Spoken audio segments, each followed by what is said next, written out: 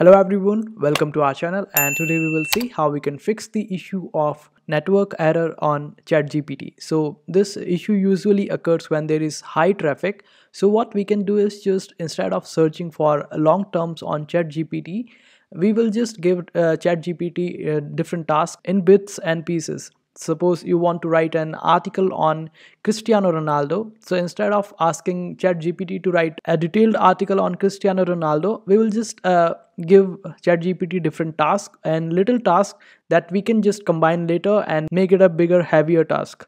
So for that, we will just type, can you write for an article on Cristiano Ronaldo? And after that, ChatGPT will just do its task and after it completes all the headers we can just ask ChatGPT to expand any of the specific point that ChatGPT has given to us. And after that ChatGPT will expand it.